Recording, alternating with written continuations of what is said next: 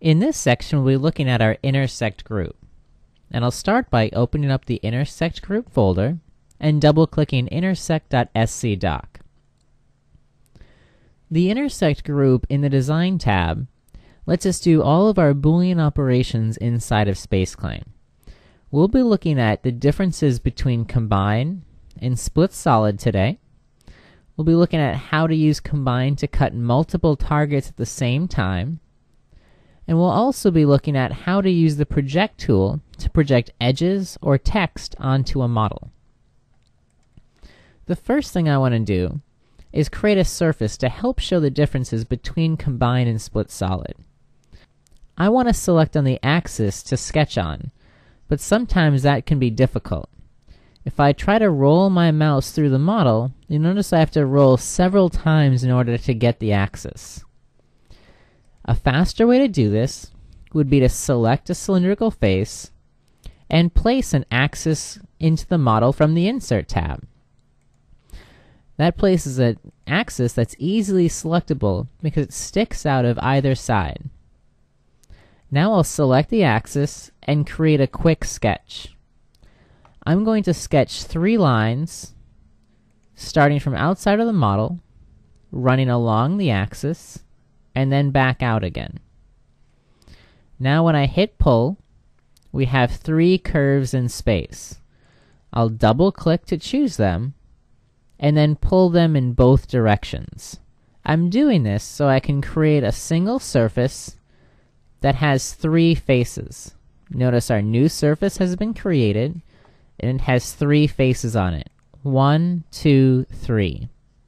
Now let's use this surface to help look at the differences between split solid and combine. Combine always stands for the combination of two objects. This can be two solids, two surfaces, a solid and a surface, a solid and a plane, or even a surface and a plane. And you can use this to merge or split. Split solid, on the other hand, always splits a solid. It always cuts a solid by a planar face, a cylindrical face, a spline face, or a plane. So let's say I wanted to use split solid to cut this blue model by our surfaces. First, we'll click the target object, which is our blue solid. Next, notice it's letting me cut with one single face. If I choose this face to cut, it splits this solid into two pieces. If I wanted to split it with our other two faces, I would need to hold control to select an additional cutter. So if I hold control and select the second face, it cuts the solid into now four different sections. But I would still need to cut it a third time on this face. So if I hold control and select on our third face, now it's split into six different sections. And I could click on our center one to remove it. But let me undo. I'm going to undo four times. Because now let's look at how combine works to do that. Combine always cuts with an entire object. So if I click this as the target object, I'll choose Keep Cutter in our options on the left middle side of the screen. Remember, we have options for every tool that we're in. And I'll select our cutter surface. This cuts with the entire surface body, so it splits this into two sections automatically.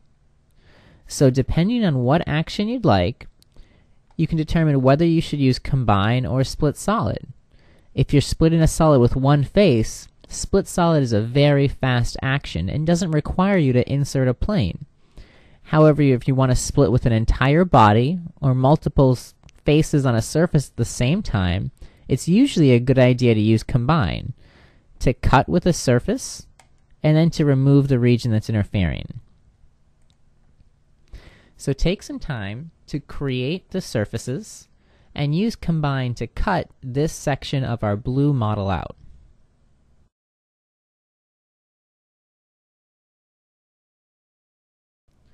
Now let's look at cutting multiple solids at the same time. I'm going to remove this surface to start.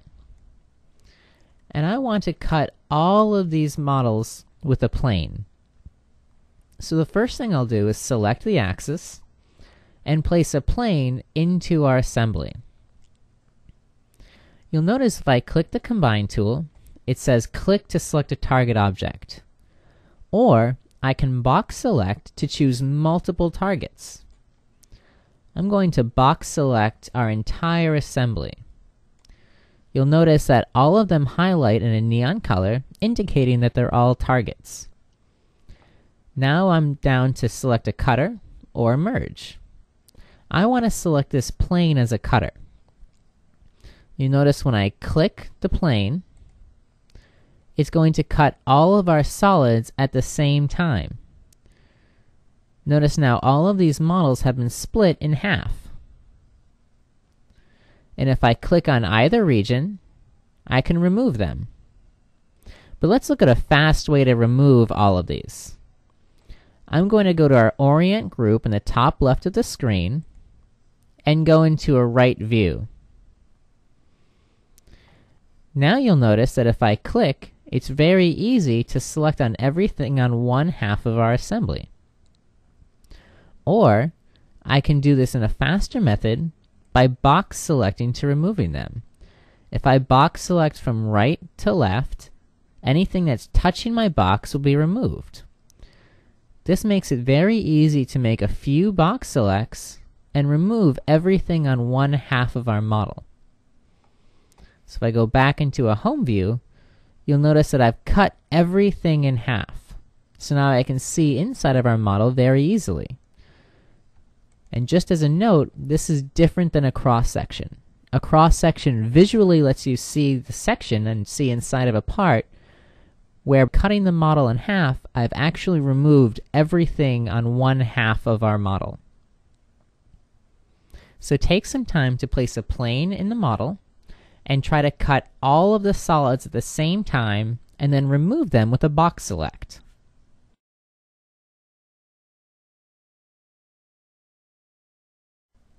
The last thing we'll look at is our project tool. So I'm going to rotate to the other side of our model and use project to place some text on our part.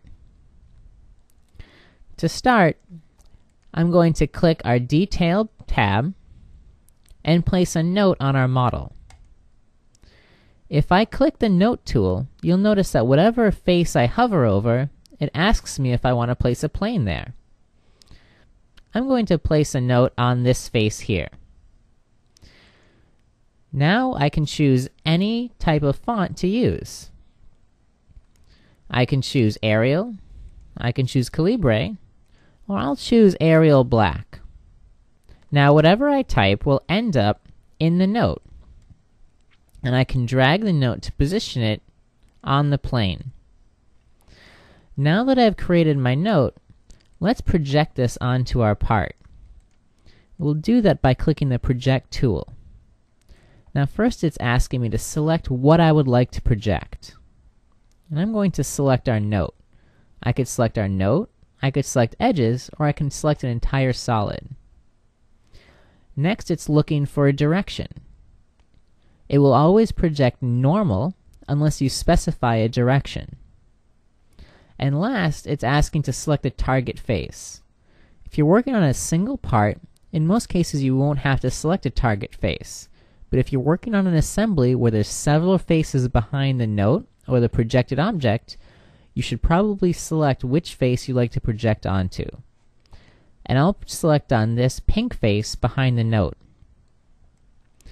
Now you'll notice that you can see the edges of our note projected onto the part behind it. And if I click enter or pull, we now see those curves projected onto the solid. So our face has been split into different sections. And if I select on those curves, I can pull them outward to thicken them.